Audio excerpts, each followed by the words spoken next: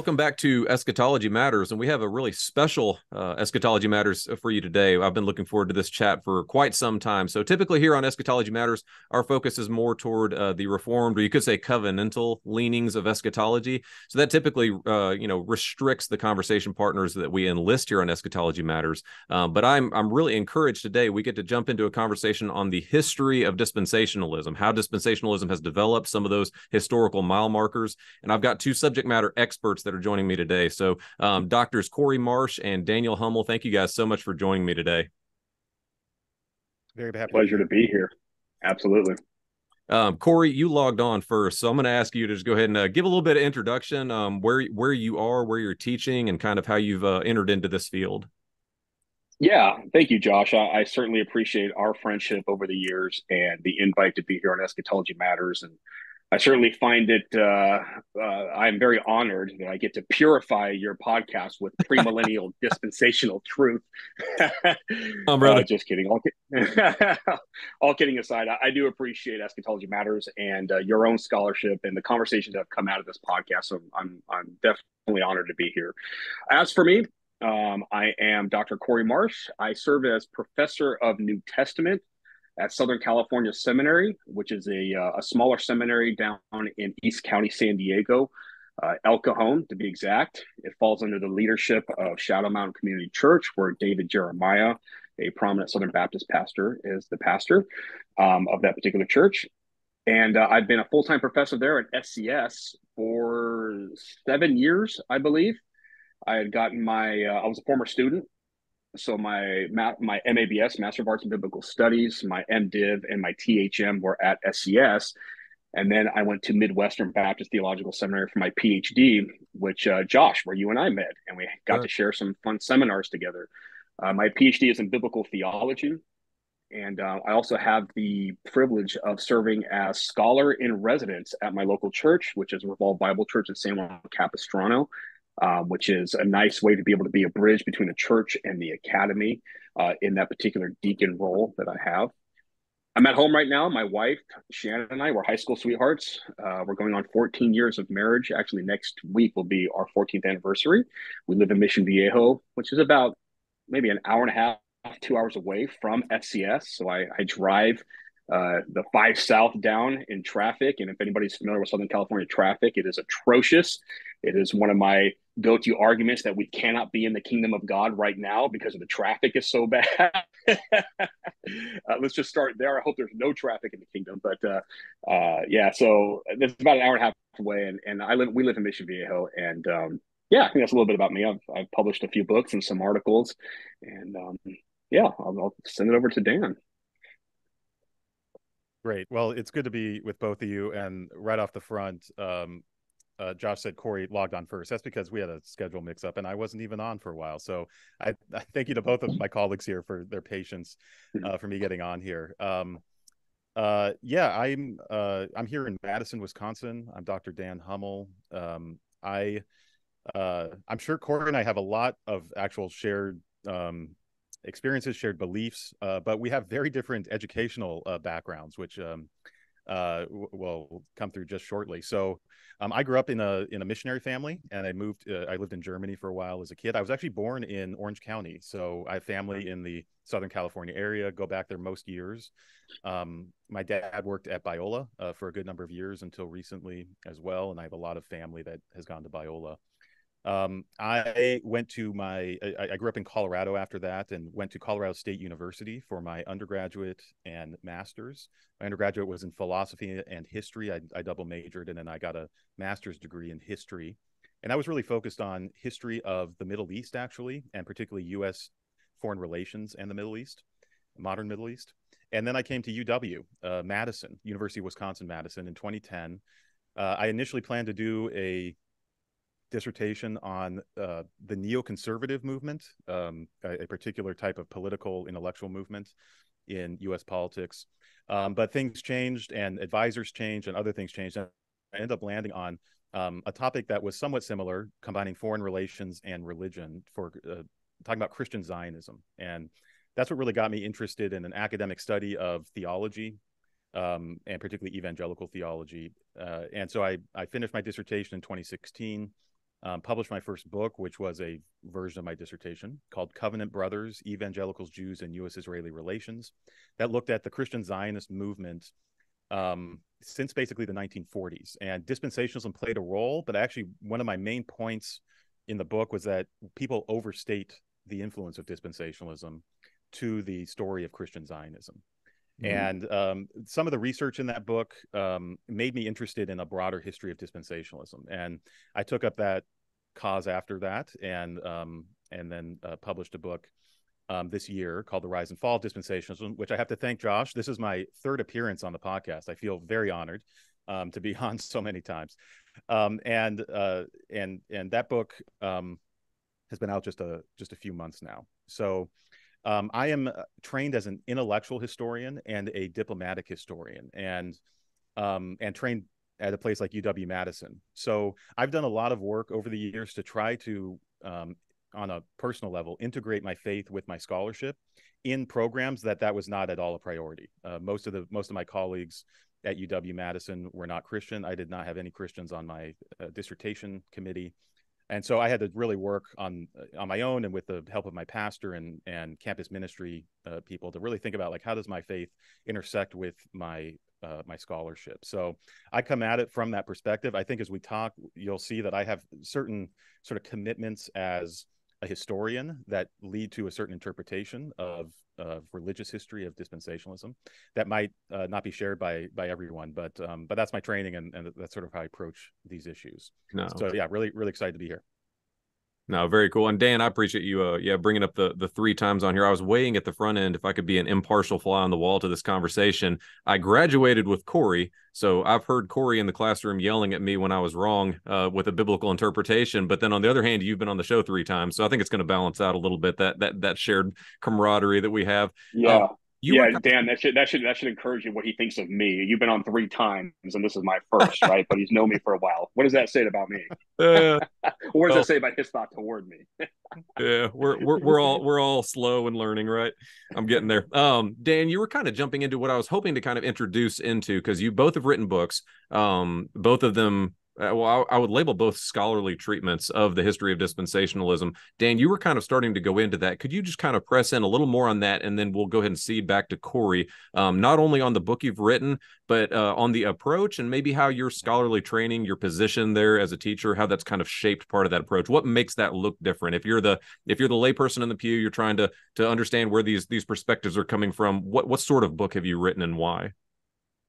Yeah, thanks, Josh. And by the way, I didn't even say where I'm working right now. So I'm I'm in our offices here. I'm, i work at a place called Upper House, uh, which is a Christian study center serving University of Wisconsin Madison. So you can think of us as a campus ministry with a building in a way. We do a lot of the same things InterVarsity or Cru would do, though we have our own take um, on it. But um, so I'm writing outside of the academy. I am affiliated with the history department here at UW. Um, but I'm writing in some ways. Um, I, I, definitely see what I'm doing as scholarship, but it's not necessarily within the bounds of of the academy, at least not my position. Hmm. But um, uh, in terms of the book, The Rise and Fall of Dispensationalism, I think the key thing uh, it's a it's a history of dispensationalism starting in the early 19th century, particularly 1830, up to the present. I divide it into three sections or three parts um, one going from 1830 to 1900, another from 1900 to 1960, and then one from 1960 to I, I think I end in 2020. Um, and and so it's a narrative history. It traces, as the title says, my understanding of a development of a particular theological tradition uh, that is systematized, that sort of peaks in my telling around 1960, and then uh, has a, a, a decline, a fall. And um, I think I, I, don't need to go through sort of blow by blow what the story is, but I think there's a few things I can say that that are distinctive from other histories of dispensationalism. Uh, one of them is I really am keyed into the differences between different strands of premillennialism, and this is a this is an a, an oversight, a, a, a, a lack of insight by previous uh, historians who have who've written about this, sort of lumping all premillennialists into a one category, and thus missing a lot of the actual drama of the story or the, or the developments um, of the story. I think another one is that dispensationalism as a tradition, and, I'm, I'm, talking the modern uh, dispensationalism here. I know we can get into um, the, the longer history, but at least in the 19th and 20th century, there's a scholarly or scholastic tradition, and then there's a more popular tradition. And there are definitely interactions between those traditions. Um, but they are not uh, the same, and you shouldn't collapse them into a single tradition. And this is something that a number of historians have done over the past uh, generations as well. So even as I'm describing the book, you can tell my primary conversation partners for this are other historians of American religion. That's uh, what got me interested in the topic and um, and really where I'm sitting um, sort of uh, methodologically. And mm-hmm. so what that means is I'm responding particularly to uh, a number of recent books. Some of them might be familiar to people on the call, and some might not. Um, the most recent sort of treatment of premillennialism was from 2014, the book called American Apocalypse by a historian named Matthew Sutton, which um, I really appreciated. It actually stimulated uh, a lot of thinking on my end, but I really disagreed with his lumping of all premillennialism into a single category and uh, largely collapsing scholarly conversations and popular conversations into a single uh, conversation. And there's a there's a sort of distinguished history of doing that type of work. My advisor, uh, the person who occupied the chair that she's in before her, was a historian named Paul Boyer, who wrote a book in the 90s called When Time Shall Be No More. That is basically still the go-to reference for historians on prophecy belief in American culture. That was another book that collapsed a lot of these distinctions that I wanted to make. So I was responding to those um, to those I thought oversights and also trying to channel some of the I think really good new scholarship, including by Sutton and others, that uh, has given us a much better sense of dispensationalism within the modern era. So this is books uh, such as uh, Dispensational Modernism by Brendan Pietsch, which came out I think in 2015 with Oxford. Um, really interesting book. It was a very narrow study of late 19th century dispensationalists, but was uh, had had a lot of insights that you can see throughout my book as well. And then the last uh, sort of inspiration I'll I'll cite is um, the historian Donald Akenson has written I think three volumes now of basically a history of the Brethren movement and its early reception into the U.S., mostly centered on the 19th century. And Akenson is someone I didn't really know about. He's, he's a very prodigious historian. He's written a, a, lot of books, but he only came onto my radar when he started writing books about Darby uh, John Nelson Darby and some of the other brethren uh, about uh, eight or so years ago. Hmm. And um, I, I, took a lot from those books as well. So I'm coming out of that. I think it's very clear. It should be clear to everyone uh, on here. I'm a historian, not a theologian. I am not competent to sort of debate the finer points of um, of covenant versus dispensational theology. Um, I, I, have a particular way of doing history that's rooted in this training I have and these um, these books I've read and and uh, want to respond to. Hmm. Um, and and um, and I'm I'll just out myself. I, I'm not super invested in in a personal way the covenantalist versus dispensationalist categories. Um, I am an even I call myself an evangelical Christian. I have sort of lay interests in these things. You know, I read around these things. But when I talk as a historian, I'm not necessarily, though I'm sure plenty of dispensations read my book and think it's it's not uh, at all fair. Um, but I'm not necessarily trying to tip the scales to one side or the other. I'm trying eh, to my best ability, and I'm a flawed human being like the rest of us, to to call it as I see it, to tell a story that I think is is true to to reality but I'm not someone who is trying necessarily to weigh in. And um, a lot of the conversation around the history of dispensationalism has really been wrapped up in in in debates between covenants and dispensationalists, with a lot of sort of freight on uh, the meaning of certain conclusions about the history that it's either legitimate or illegitimate. And I've realized since publishing the book that I've probably stepped on a few uh, conversations that I should have been more aware of um, as I was writing the book. But because of the things I was trying to respond to in the historiography I just mentioned, um, I made decisions that uh, could be you know misinterpreted or it's my fault for writing it in a way that's that's unclear. Um, but uh, but yeah, so anyone on the call hoping I'm going to sort of defend the covenantalist position and uh, slap down a sort of I, am not competent to do that. That that's not what I'm going to be able to do. Uh, but I, I am pretty interested in the history and also interested in talking about uh, Cory's uh, edited volume, which really helped me uh, think through some finer points as well. Very good. No, that's that's a great segue. Cory, walk us into yours, the synopsis of your recent book, um, how it differs maybe in approach or in content. Uh, walk us into that a little bit, brother. Sure, I'd love to. And, and let me start by saying I, I have my copy of Dan's book here, The Rise and Fall of Dispensationalism. It was very insightful. There was, as Dan said, much that we would agree on. Um, however, there are places I would take exception, which will probably come out in this conversation, but it, it's very well written and enjoyable. Um, and so I appreciate his efforts there. Uh, probably, yeah, as you mentioned. So I am the general editor of a new book that just came out, Discovering Dispensationalism. And our thesis is really captured in that subtitle, like any good academic scholarly book, right? Uh, tracing the development of dispensational thought from the first to the 21st century. So we make a distinction between dispensationalism as a system and dispensational thought, which are ideas and themes, say the sum parts of the whole right? So discovering dispensationalism the main title is is really getting is what it's trying to get at is what are the ideas that would lead to this system? And that's what's captured in the subtitle which is the thesis of our book tracing the development of dispensational ideas and themes or dispensational thought from the first to the 21st century. Um, you know i'll start off with our book. Uh, dan i appreciated his introduction because he is a, a cultural intellectual historian He's going to, his book um, analyzes dispensationalism from a historical perspective and how it was received and the impact that it's had within uh, broader evangelicalism, especially modern evangelicalism. Um, ours is different. Our angle is we're coming at it not so much as a cultural phenomenon, that is dispensationalism, uh, but uh, how it's it's do, it's tracing doctrinally how the beliefs that would later be codified under dispensationalism developed. So our book is not showing dispensationalists or dispensationalism as some type of social identity or cultural phenomenon. And I think that might be one of the pushbacks I would give on Dan's book, as good as it is. I don't think that's the correct, I don't think that's the most helpful way to analyze a theological system. I understand that, you know, as Dan said, he is a historian, he's a first rate historian.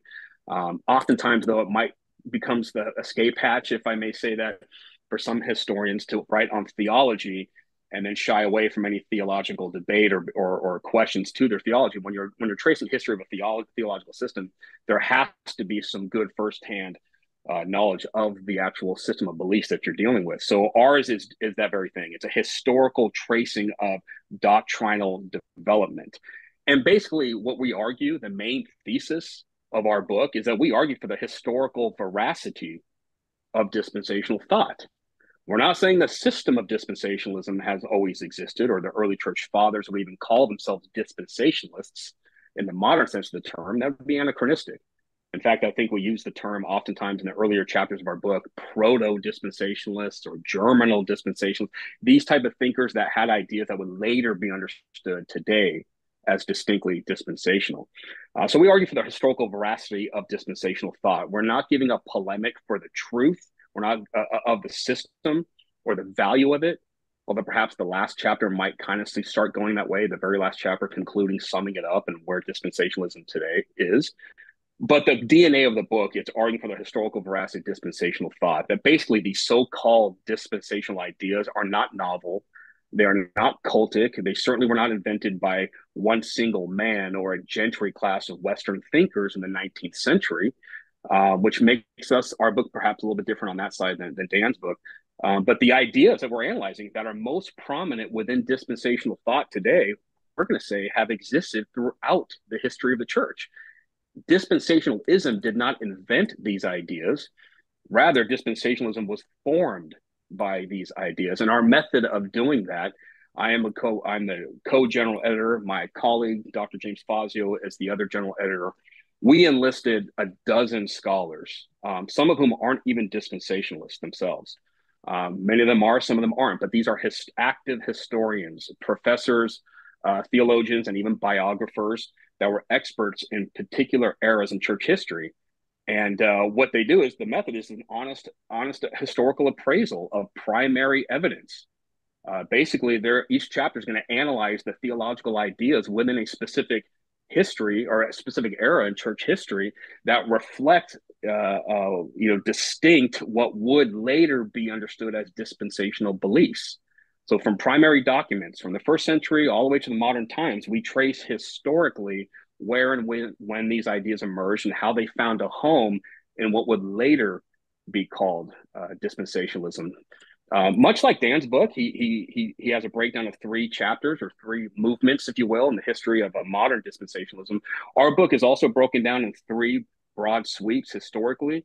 That is dispensational thought in what we call ancient Mediterranean, so the time of the New Testament all the way up to the fourth century. So we're talking about the patristic era all the way to the Nicene era. Um, and then dispensational thought in what we call vintage Europe, medieval times, uh, often considered a nebulous, dark period in history. What were were there any dispensational ideas or thought in that particular era? Um, and all the way up to John Nelson Darby, which we can talk about later, his his move, his place in the story.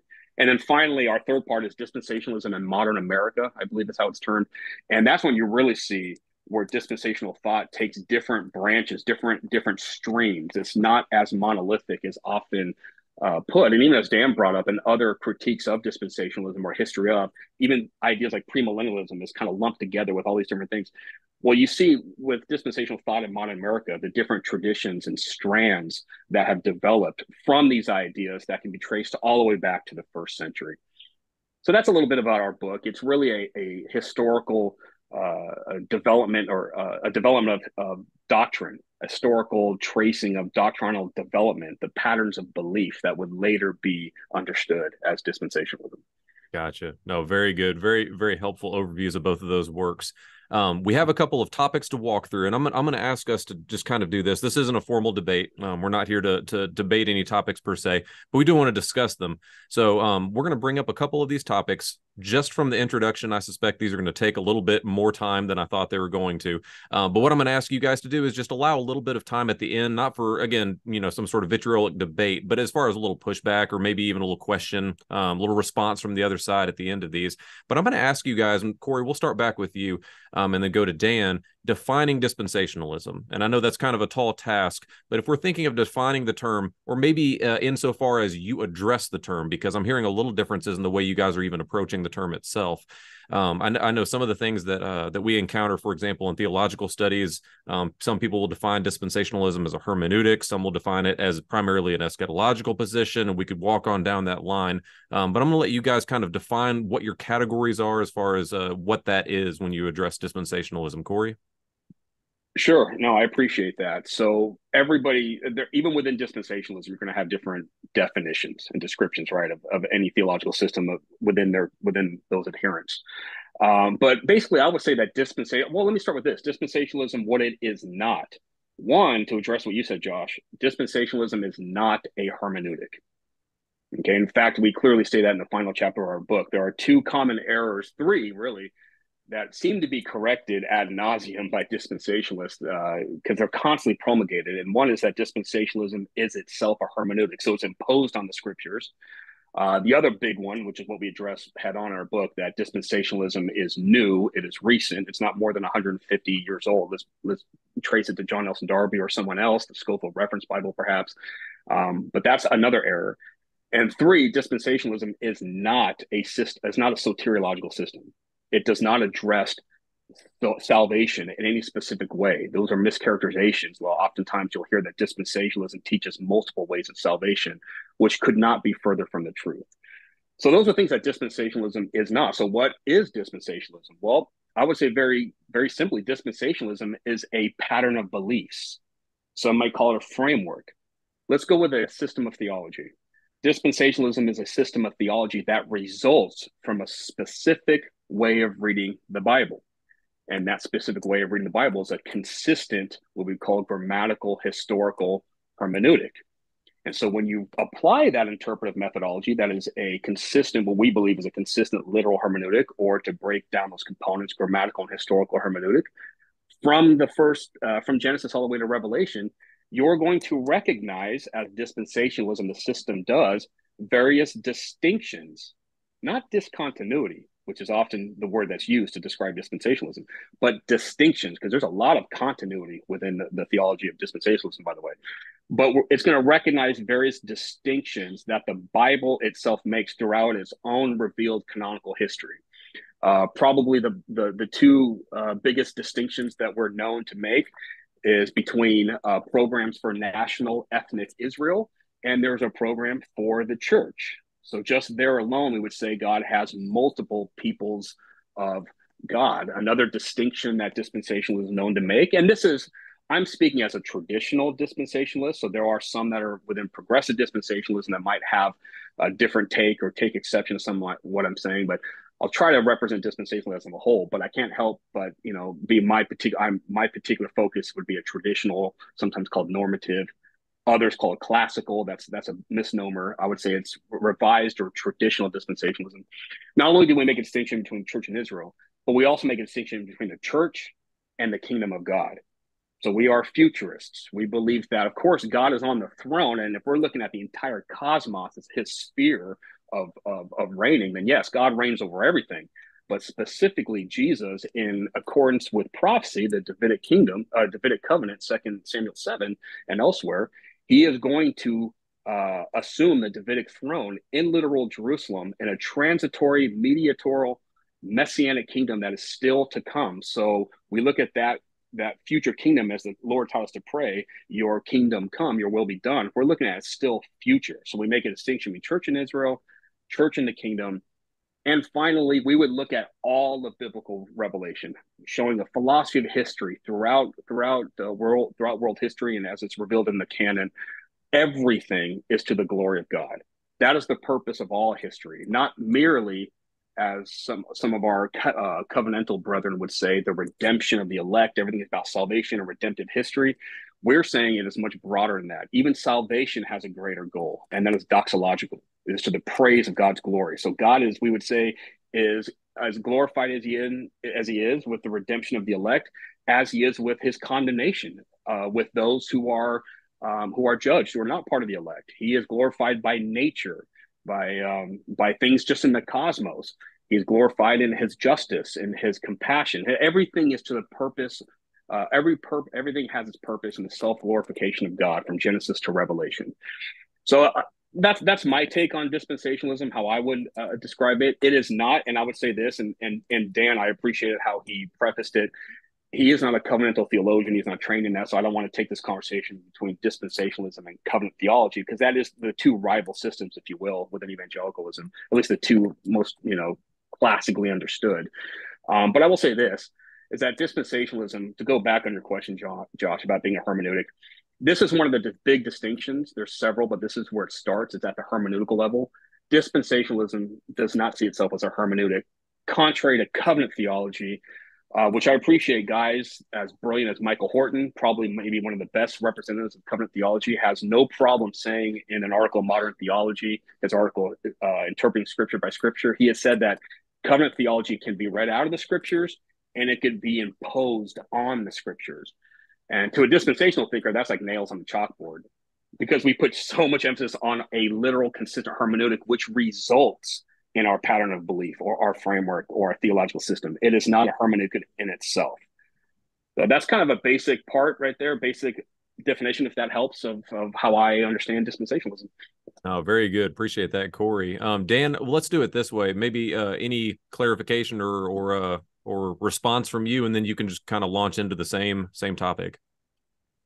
No, I, I really appreciate it. I can just imagine some of the the watchers just like cringing that I have no rejoinders about. I don't even know exactly if covenantal uh, theologians take offense at being a, a, hermeneutic or not. I'm not sure. Um, so I'm just gonna I'm I'm gonna leave it there and say what I just heard is a a I I, I res or I, I don't resonate with it, but I I recognize a lot of that from um from the many dispensationalists um, I've read. I appreciate that Cory. You, you mentioned a number of different categories that have emerged really in the last few decades normative revised classical to try to make some sense of the history i think that's that's that's been that was a really interesting development um, i think a lot of those terms go back to the 1990s and books by Darrell Bock and craig Blaising and others who were trying to develop a sort of um, historical understanding of at least the more modern um, generations of dispensationalists and, and what the differences were. So um, I, I, appreciate that. I think one thing I've realized as I've talked to people about this book, I've gotten to do all types of conversations with dispensationalists and others.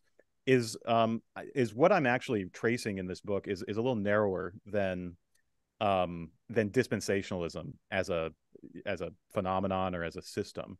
I'm really interested in a particular um, tradition of it that really traces through Dallas Seminary and and uh, to the present, um, and also goes back uh, to Darby and the Brethren. And um, that's there's so much more. Uh, one of Cory's uh, volumes chapters is on mid acts dispensationalism, which mm-hmm. is a tradition I think I spend like two sentences mentioning, and then moving on to to other things because it didn't sort of fit into the the narrative um, I was most interested in. Um, and I also talk about progressive dispensationalism for basically one section of one chapter at, at the end. And uh, as far as I understand, that's a that's a quite popular position these days um, it, within the broader theological conversation. Uh, and so, um, uh, so that's one thing I've recognized is, is there's a lot of different ways that dispensationalism can be defined. Um, and particularly when you start getting into the nuances of the different schools, um, there's there's some some disagreements there as well. And I'll mention one of them as I talk about my my particular uh, definition of dispensationalism. Um, I really was struggling with this when I was writing the book. I knew it sort of like you know I knew what it was when I saw it, but I was like, uh, what? How am I going to describe this um, in a way that is satisfying to historians uh, in my guild in particular? And so I ended up in the introduction listing a number of features of the system of dispensationalism. I really think the system word is important for talking about what I want, what I wanted to talk about, and it distinguishes what I think a lot of uh, Cory's volume is doing. This dispensational thought. I really take a lot of, I invest a lot in that distinction between dispensational thought and dispensationalism uh, as a system of theology. And I, I don't want to um, uh, cut off or be too chummy, but I would hope it's almost uncontroversial sometime in the future that there is a long tradition of dispensational thought um, I, I, don't. I, I, see almost no um, controversy there. I'm no. I'm sure there's plenty of other people who do, um, but I'm willing. I uh, a, a, number of the chapters in the volume were obviously new to me, but I've heard a lot of. They're not the first people to make these connections to a much longer line of particular different aspects of dispensationalism as a system that precede Darby, in particular, precede the 1830s or 1840s. So um, so I I was already and I've I Cory and I've emailed about this. I I wish I would have used more nuanced language when talking about exactly what Darby was bringing to the table. I still think Darby is quite an important figure.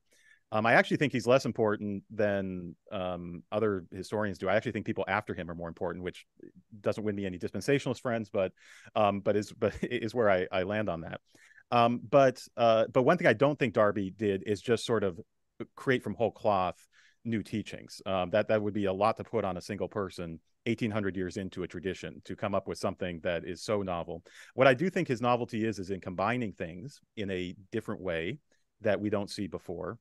Um, and and then in in communicating it in a way that actually resonated with a broad group of people. I think you can find all types of ideas throughout church history that are fringe or considered heresies or other things that are frankly not that notable and I, are not things I really want to spend a ton of time uh, thinking about.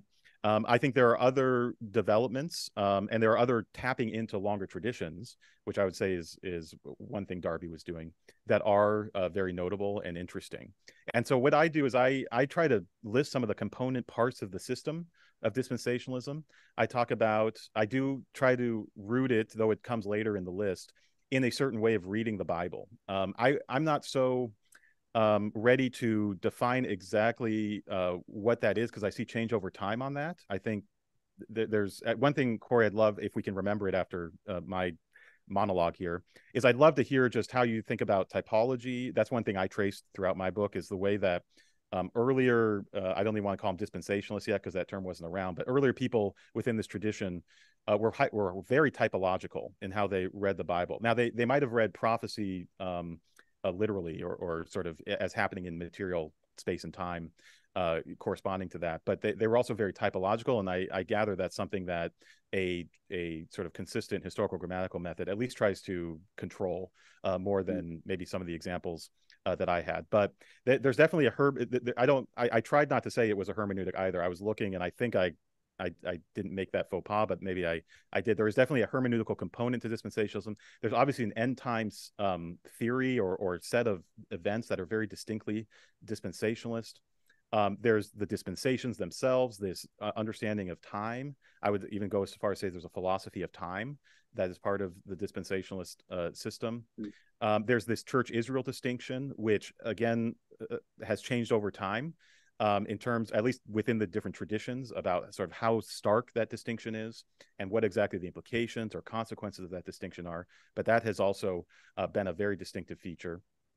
Um, and then I do get into um, some soteriology in a very little way. I totally agree with Cory that um, one of the things that I did not see in, in my research was a consistent sort of dual um, salvation um, uh, mode. I, I I definitely saw that critique pop up a lot um, over mm. time, and I even th- th- there are things that Scofield said. I, I, know there's one footnote in particular in the original Scofield Bible that was, uh, shall we say, not clear and was clarified mm-hmm. by later people that um, that really and it was clarified because that was not what dispensationalists wanted to be known for. I mean, it, it was clarified because it was it was it was mis uh, misdirecting people um, who were reading it. So um, that being said, as a historian, I did want to track, and this is where that narrowness of the tradition I was following maybe comes in.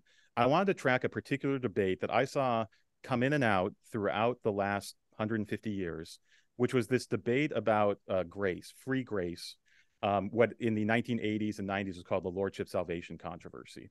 And what's interesting to me is that this debate was emerging in different forms all the way back into the 19th century. And I don't want to say that dispensationalism necessarily lands on one or another position on free grace.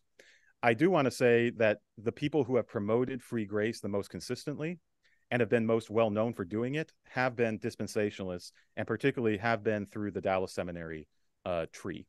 And uh, and I go into that in the book but uh, that to me was an important part one because it rounded out this conversation to not be uh, this definition to not be just about eschatology which for non theologians, the non uh, people who aren't specialists in this, think that's what dispensationalism is. It's just a eschatology. It's just the rapture and then the Antichrist, and that's really all you get. There's a reason. That's why I try to explain in the book. There's a reason why that is why most what most people think of. Um, but that is not the totality of dispensationalism. So I did want to nod to this interesting subplot or sub story around free grace that um, I uh, I particularly for my historian friends, I thought was an interesting way to show that there's more at stake here, at least at different moments in time, than just debating about uh, the end times. Mm. Um, so, in, in terms of a theology, that's how I define dispensationalism. Because I'm the historian I am, as Cory said, I'm a social, cultural, intellectual historian. I also think it's really hard to talk about dispensationalism without talking about the people who are dispensationalists. And so I, I go into a sociological definition or definition that's about demographics. Where do we find dispensationalists in American history? Who makes up dispensationalists? Where have they tended to go in other parts of their uh, beliefs, whether that's uh, cultural beliefs or even political beliefs? That's not the main point of my story at all, but I do touch touch at that on various points. So I feel it's incomplete to talk about a definition without the real people who actually teach and promote um, this particular uh, way of, of believing. Um, but I also know that that's sort of the historian's mode and not necessarily a pure theological uh, mode in, in defining it as well. Okay. No, very helpful. Cory, any uh, response or clarifications? Yeah, this is. I'm already enjoying this podcast, this this episode more than I thought I would. This is fantastic. We can we can speak about this for a week straight, or at least I can. Uh, before I can probably get bored and drop out. Um, I appreciate so much of what Dan just said, um, and, and, this is what's interesting about this conversation. You have two, you have, you have two authors, you have two scholars that are approaching the topic from two different angles. Um, I would, as as as a biblical theologian, uh, I do not, and this is just this is this is my take. I don't think it is that helpful to critique a system of theology culturally, as Dan said, by their thinkers, the people themselves. I, and this is me, I look at a system of theology as a pattern of beliefs. I think the best way to analyze any theological system or any theology is by what are the what are the beliefs that make it so. Whether we're talking about evangelicalism, what makes someone an evangelical by uh, by even uh, what makes someone an evangelical by certain beliefs, and I'll say a high view of Scripture, inerrancy, um, the the divinity of Christ, these types of classic fundamentalist beliefs, biblical fundamentalism. I I think it's interesting to do a history of a movement by its people. I mean, they kind of they, obviously they overlap. You can't have ideas without the person behind it, but it's the ideas that shape the theology. If we're going to do a cultural um, history of theological movements, then there could be tomes written on the influence that, say, post millennialism has had or covenant theology has had in the in the realms of I'm not broad sweeping everybody as this, but the dangers of say supersessionist beliefs, where that traced from, and who were the people that held to it, or even to modern day white nationalism being traced to kinism, being brought back to Christian Reconstruction, back to covenant theology.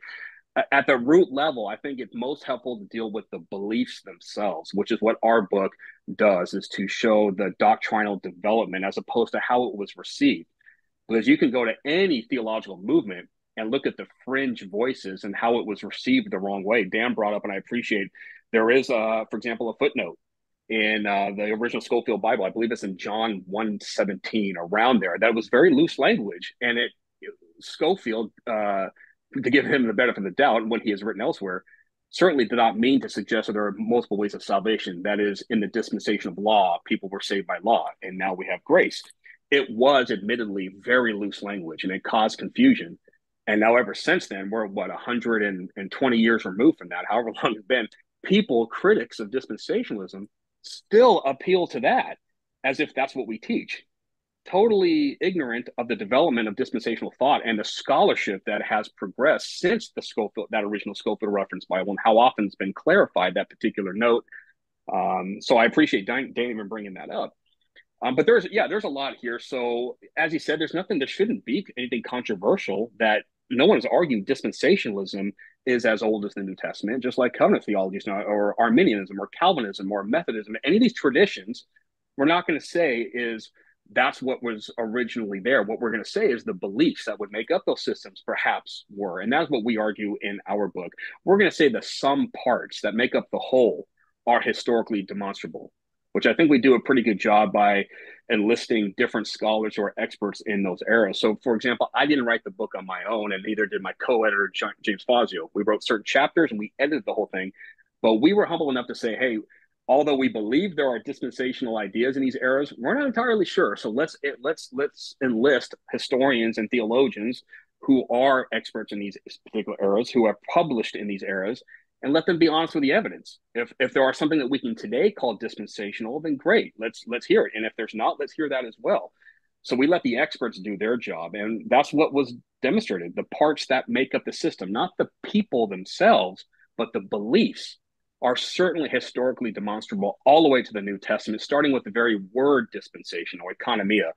And with that, I would say dispensationalism. It is not a. I don't think it's a cultural phenomenon any more than any other system is it is a it's not even a systematic theology it could be considered a historical theology i think at its root level it's a biblical theology and uh, the, re- the way i would say that i would borrow terms from andreas Köstenberger and his new and him and greg goswell his their new magnum opus textbook on biblical theology and the criteria they give. What makes something a biblical theology? It's got to be inductive it's historical it's descriptive. Dispensationalism meets those requirements. Dispensationalism is inductive in that its positions are a result, as I said earlier, of a consistent use of a, the Protestant principle of grammatical historical exegesis. Were there some people that deviate from there? Absolutely.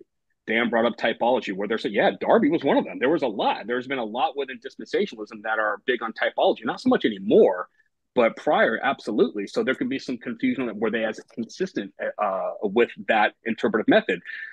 Problem, no, probably not. But the method itself is what dispensationalism is based on, not the person applying it. So its dispensationalism is inductive, and as positions are the result of this consistent grammatical historical exegesis. It because it, it, it endeavors to cling to the Bible's own use of certain terms, like Israel, Israel is always Israel. This is the continuity you see when dispensationalism is critiqued as being discontinuous. There's no discontinuity, depending how we define that term. It's distinctions. Israel remains Israel. The temple remains temple. People remain people. Animals remain a- animals. Salvation is always by grace through faith. Going back to Genesis 3 and so on, I would trace to Genesis 15 6, the, problem, uh, the promise given to Abraham that he believed God and it was credited to him as righteousness. We've all, there's salvation is, there's a consistent plumb line. Um, kingdom is always kingdom. Covenant that is loose language today. Uh, oftentimes today, by certain theologians, taken very loosely. We're very specific. What covenant are you talking about? Biblical covenants. So they remain covenants. Even its very nomenclature, as I mentioned, oikonomia. That's the Greek word that the King James translated dispensation. Uh, it's where we get our English word economy right? It's it's the system is based on that. You see the word in Ephesians 1.11 and Ephesians 3.2, Colossians 1.25. So it's inductive in that sense. And it's historical and descriptive, that is dispensationalism as a system, as opposed to ahistorical uh, systems or prescriptive systems, right? Because it emphasizes historical context to discover the scripture's meaning, and it's not driven by philosophical categories or cultural trends, which is what Dan's book really hones in on. It's not driven by that because it's a biblical theology. It's historical, it's descriptive. It provides, as Dan said, he's right, a view of history. There's no doubt about it. We would hold to, some would even define dispensationalism as a certain understanding of biblical history, a philosophy of history, because what it's showing is that history is going somewhere. It's not cyclical.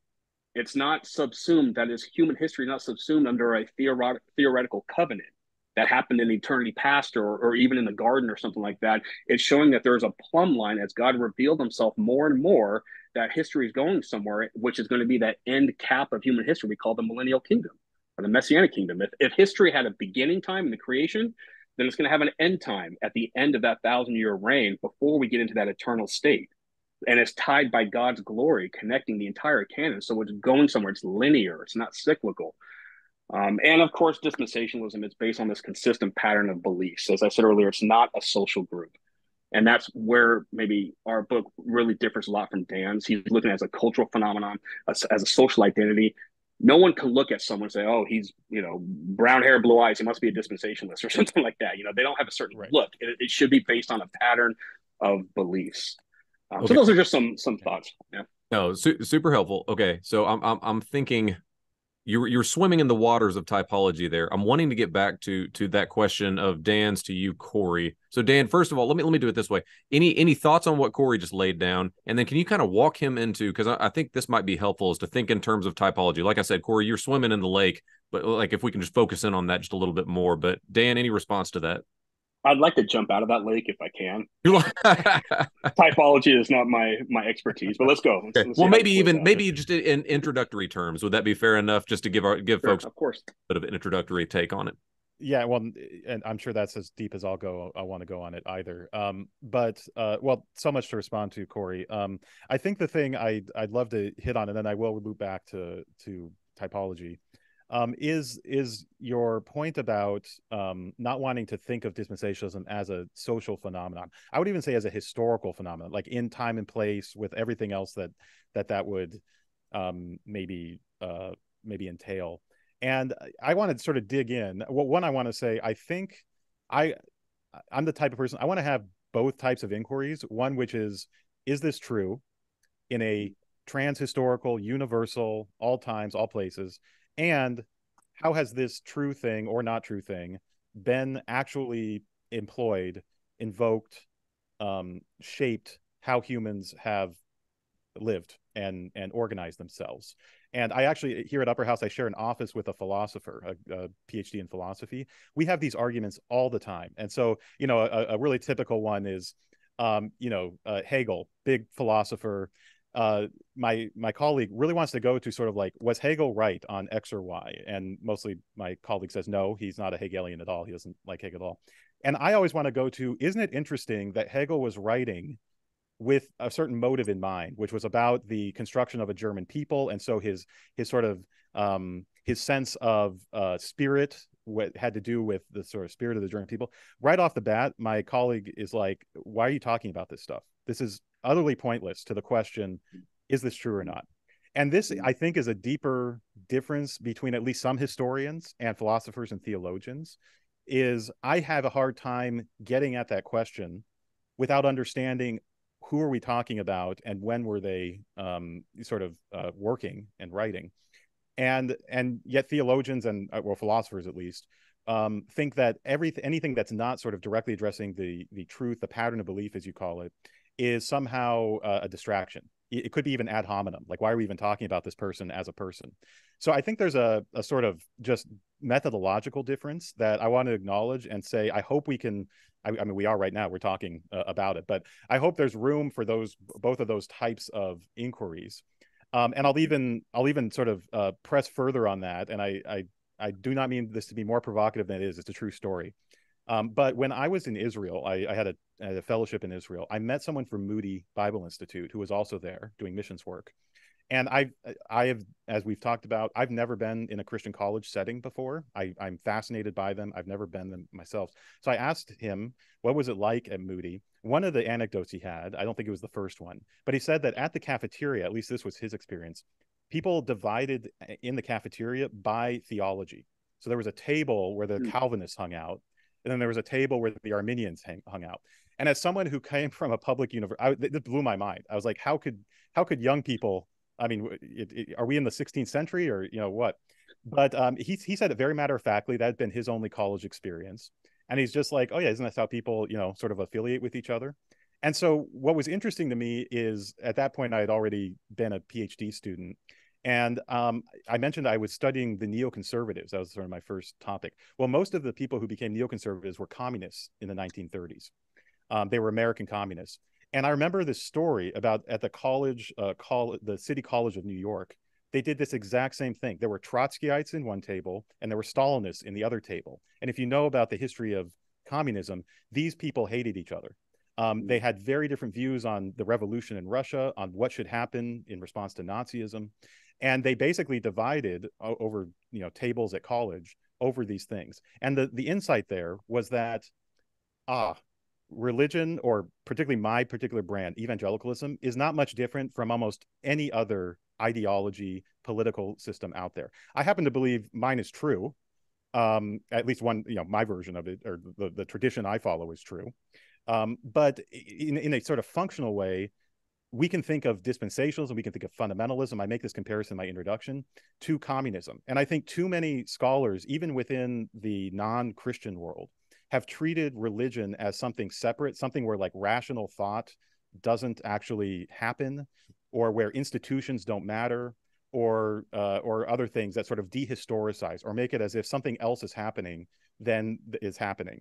And so that's one of the ways that my methodology, my background has brought me to um, the way I talk about dispensationalism is I'm actually pulling from really good histories that are have nothing to do with dispensationalism, nothing to do with fundamentalism or theology, even to try to understand how does this system of theology, and maybe this is the big difference in the questioning, is I'm interested in how it gained prominence within certain circles, and then how versions of it spread among the American church and created a situation that I grew up in where there were uh, big segments of the American church that were um, functionally dispensationalist, if not actually. There was just an assumed dispensational uh, framework to how we thought about the world, thought about Israel, thought about everything else.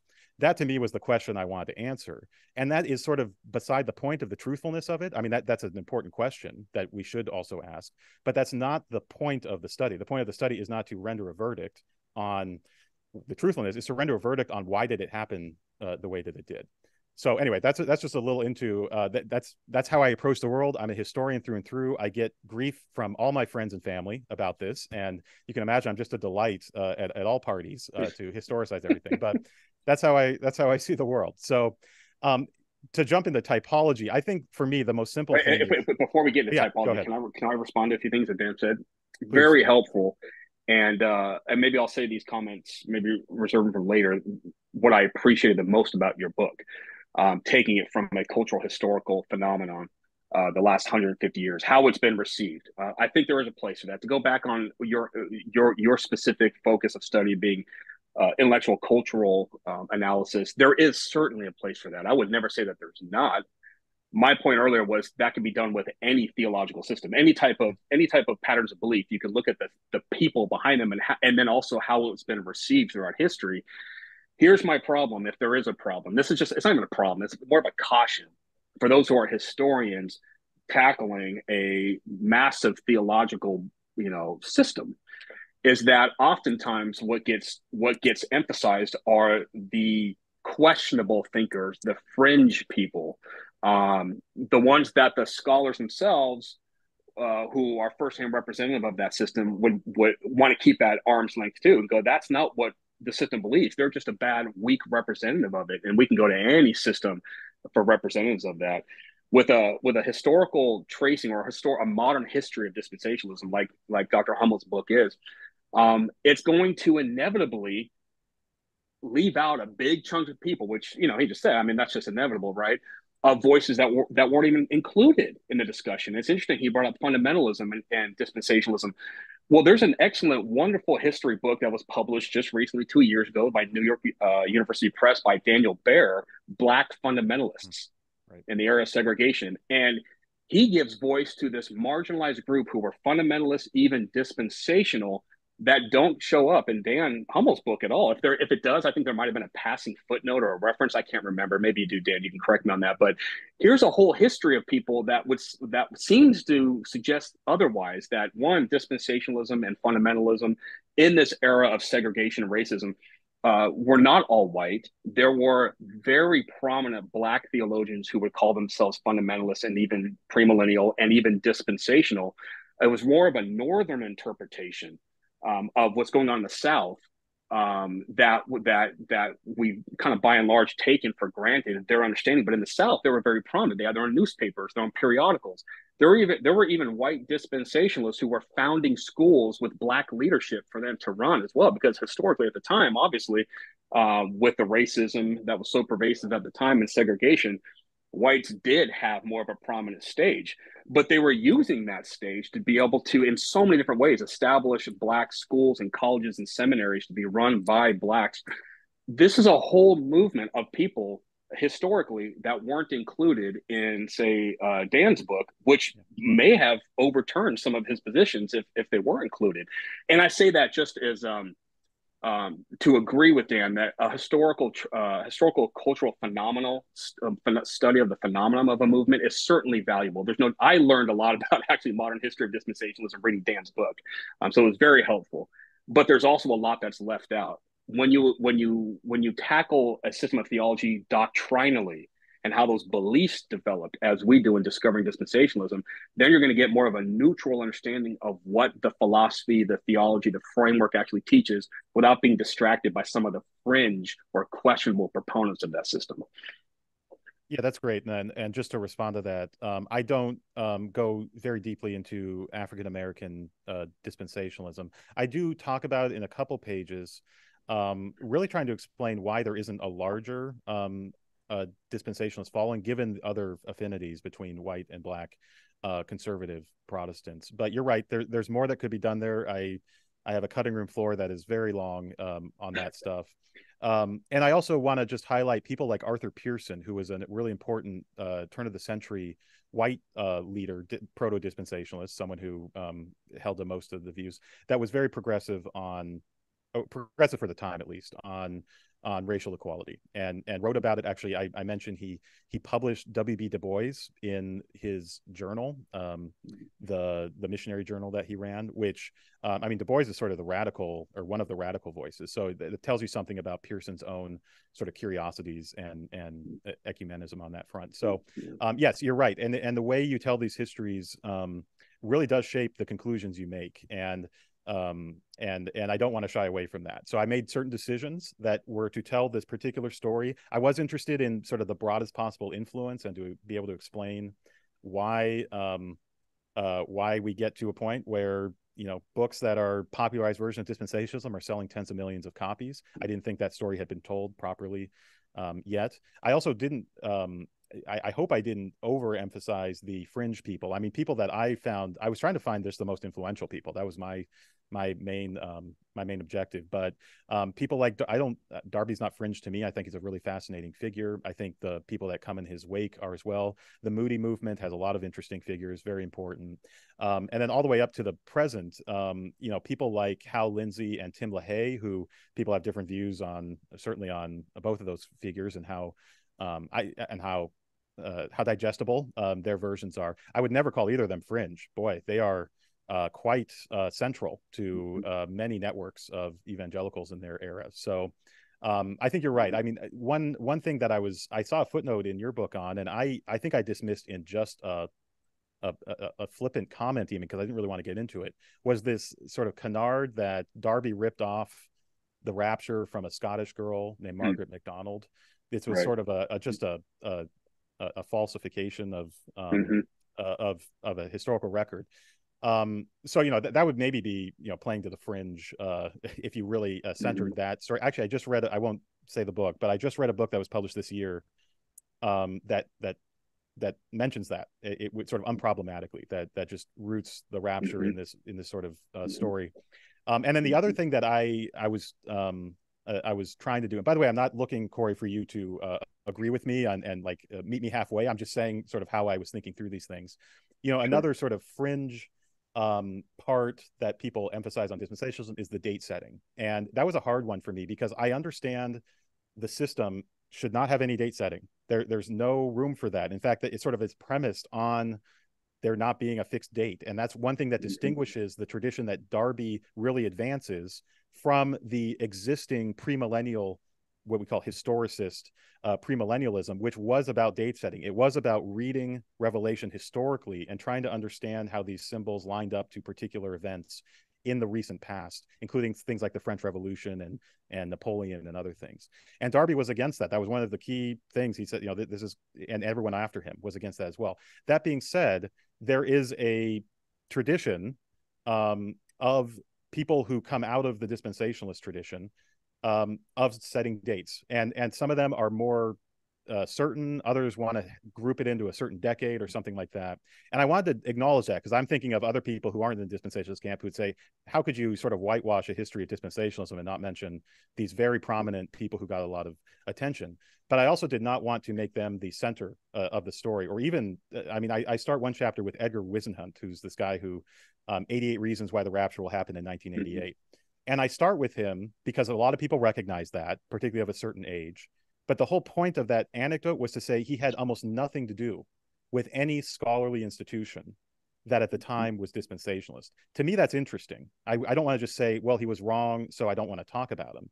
It's why did this guy get such attention when he had almost almost no credential? He had no credentials to be talking about these things, um, and his book is uh, really hard to read. It's it's very weird and it has no no scholastic merit at all. Um, and yet, this person for a few years sort of represents dispensationalism to a lot of Americans. I found that to be an interesting question, regardless of the truth or falsity. But I also made sure I didn't want to center people like that as the sort of purveyors of the history um, of dispensationalism. Josh, I see your hand. Yeah, I've got my, I've got my finger raised. Thanks, Dan. No, no, because you're bringing up Darby, and we've got to get there. So I know we we'd floated the idea of typology. We've got to get into Darby a little bit. Um, Cory and I were talking um, during the aforementioned long wait uh, before the episode. We were no, we were talking about uh there there was a JETS article, um, and and of course Cory was familiar with it. Um, uh, you might be as well. It was from a few years back, and it talked about um, Darby, at least as the proponent or the uh, founder of a system of dispensationalism. So at least dispensationalism sort of system, and specifically they spoke of it as a reaction to post-millennial thought um, there uh, in in Northern Ireland at Trinity College. But um, I think it's Cory. I think it's your turn to lead off. But let's get into Darby a little bit. A little bit of an introduction. Uh, what what role does he play? Did he invent this system? Did he invent the the theology? Was he an innovator? Where where does John Nelson Darby fit into this conversation? Well, there's no doubt that he is a pivotal character within this whole story. Um, to suggest otherwise would be just historically irresponsible. In fact, we devote a whole chapter in our book and we call it the Darby era. We have pre Darby, and then we have uh, what's after Darby, I think, which goes into the Reformation era, or excuse me, what goes into modern America. Um, but we have a pre Darby era leading up to Darby, and there's a Darby era from 1800 to 1882. That's the lifespan of John Nelson Darby. Um, he's certainly a, a pivotal character. And in that chapter, we enlisted Max Weremchuk, who is a known, he, he doesn't identify as a dispensationalist. Um, he is a known biographer on Jelson, John Nelson Darby. Publishes in French, uh, in German, um, as well as in English. I believe he publishes in French. He certainly does in German and in English, different works on Darby. And he published the book, John Nelson Darby, several years ago, published through SCS Press. Um, so we have him in this particular uh, chapter giving us his take on John Nelson Darby. And it's interesting what comes out in this chapter because what you see with John Nelson Darby, contrary to popular thought, that dispensationalism is sourced in there in, Darby, and, and, that's one of the pushbacks I would maybe give Dan in his book is that he's it's the common standard error I would say whether it was the publisher who says it or or or Dr. Hummel himself whatever, but thinking dispensationalism originates with Darby is not correct. Uh, the system formally, perhaps afterwards, and what I appreciate about Dan's book is he makes it very clear is that dispensationalism today is very much removed from uh, John Nelson Darby's thought in multiple ways, which is true. And not too many historians and even theologians recognize it. And Dan does in his book, which was great to read.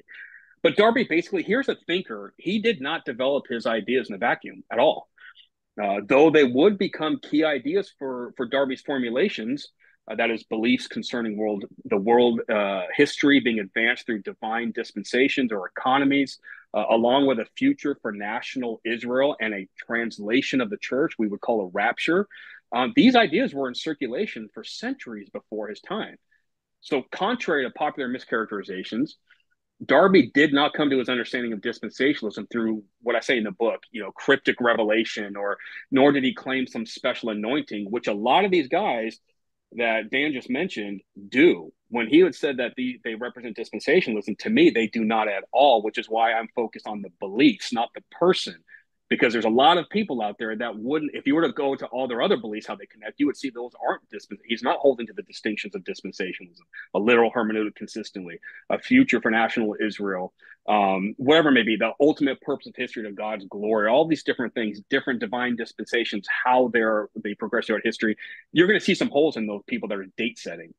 As dan said dispensationalists of all people should be the least there shouldn't be any date setters associated with dispensationalism because we believe in an imminent pre-tribulational rapture, at least traditional dispensationalists do. There's no warning of it. It's going to happen without warning. Um, but uh, uh, that aside for a second, uh, Darby didn't come to his understanding of dispensationalism through the through this type of cryptic revelation or special anointing.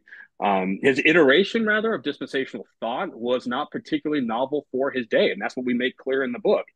Um, like in anticipation of the Lord's imminent return, reaches all the way back to the early church. A lot of people don't know that. We we show the patristics and what they thought in this and that Nicene era theologians.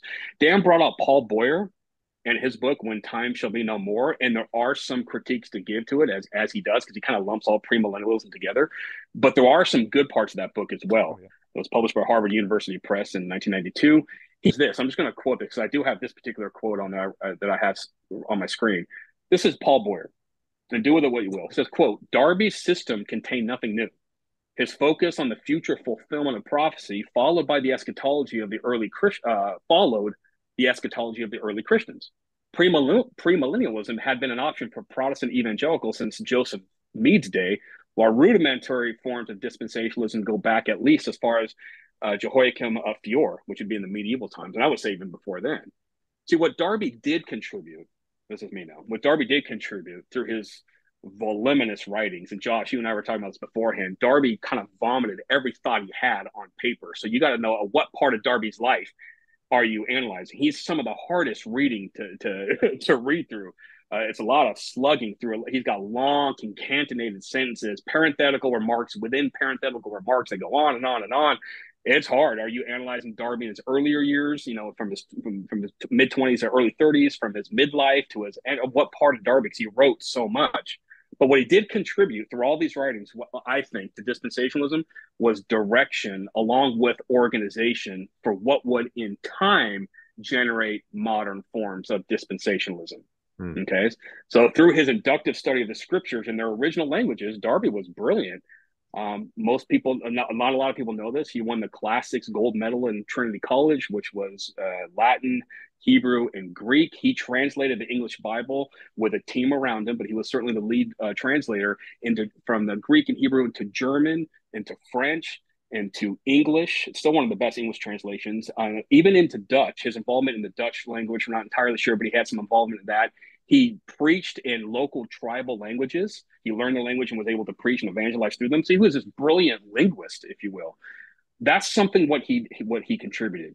There was inductive study of the original languages in Scripture, um, not end times. That's what later grabbed a hold in American dispensational thought, and Dan actually brings that up quite well. Darby was more focused if there was a theological systematic doctrine, it was his doctrine of the church, ecclesiology. That would later drive his eschatology.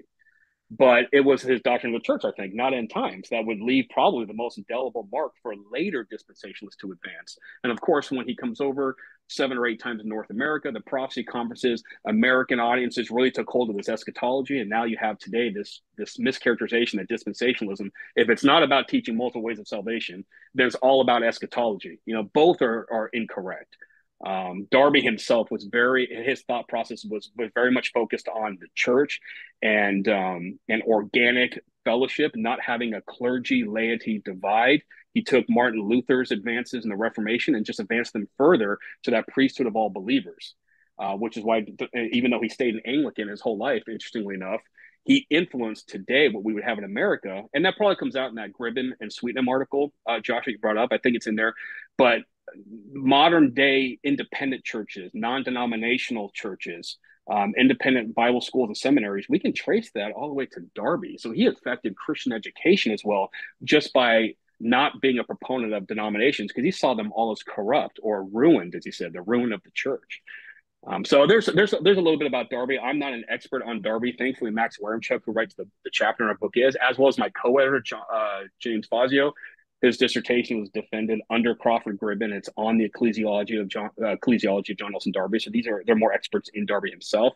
Uh, but that's sort of a broad overview uh, I would give of Darby. Yeah, no, that was that was fascinating, Cory. Um, Dan, your thoughts on that? Is that is that what you found, or any uh, yeah, any comments on on what you've been presented there and your take on him?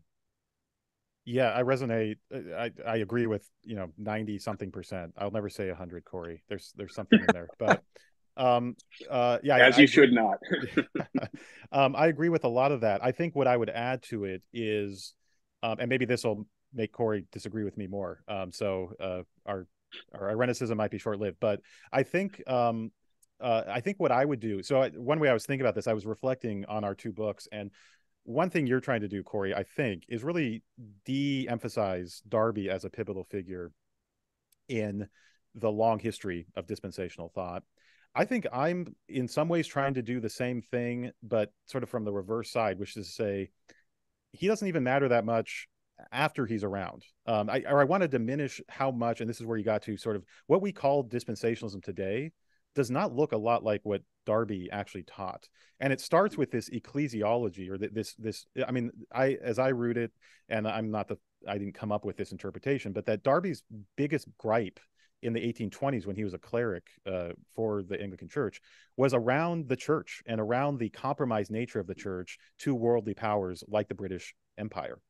And he was in Ireland, and there was a certain way that played out in Ireland. But this was his sort of originating insight into um, breaking with a lot of what um, he had sort of, um, at least a lot of the culture around him, to develop a distinctive theology.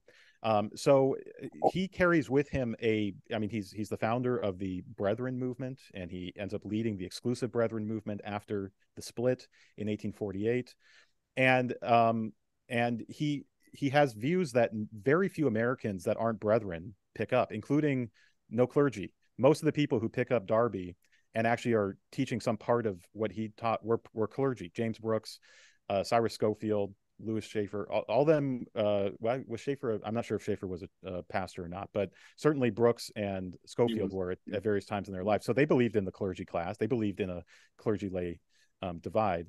Um, and Darby also didn't believe in denominations. Most of these people, as um, uh, Thomas Ice's uh, uh, chapter talks about, were Presbyterian um, or Baptist. And people even earlier than James Brookes, people like James Inglis, uh, were affiliated with different denominations. So already at the start, there's um, a departure from Darby among the American recipients to his views. I think this is really important, maybe for different reasons than Cory does. But one of the things that's interesting to me is how the reality of Darby not being the sort of direct source that a lot of people who later follow parts of his um, insights do what what the effect of that is and so i look at the origination of the prophecy chart I mean, this didn't come out of no like you know someone made up the way to, to depict um, at least this part of the teachings of Darby visually to help people understand because it was a for many people is a new way of thinking about the end times. Well, if you have a chart, a chart does certain things and simplifies other things or even erases other things. So while a chart and particularly prophecy charts have a horizontal orientation to them. You're looking at time sort of progressing from left to right on a on a piece of paper. What is not often depicted in those early prophecy charts is the church Israel distinction. It, you'd have to see it through sort of the divisions of time, but you're not seeing a sort of the way Darby often talked about it, a sort of heavenly and earthly people. Um, and so the the very popularization of Darby's teachings in these particular ways meant that the people who were receiving them, because they weren't going back to the original source, they didn't want to work through Darby's writings either. Um, they were inter- they were sort of receiving partial chunks of different teachings and then having to fit them in with other things that they believed about the church about uh, everything else um, in the christian faith and there's where you get this really interesting but messy story of how darby's thoughts actually sort of enter america and then are changed. This is why I think people are so important because you can't even, I don't even know how you would tell this story. It's not like a rational development, at least how I read it, from Darby to Brookes to, I mean, there's a way you could tell that, but there's another way where there's a lot of other factors happening that are causing people to be interested in these ideas in the first place. Another thing, Darby was uh, not a good writer. He also hated revivalism. Uh, he thought it was bad on a sort of um, theological level. He thought it produced what he called shallow Christians. Um, he also uh, just didn't like to meet in big numbers. He liked to meet people one on one on one, and thought that by meeting with clergy, he could then convert a bunch of clergy to leave their denominations, and then that's how sort of his teachings would spread. Well, it turns out they were spread almost the opposite way, which is people like Dwight Moody and many people other uh, beyond them, Reuben Torrey, many others, um, basically in, in adopted big chunks of Darby's teachings and taught them through revival, through popularization.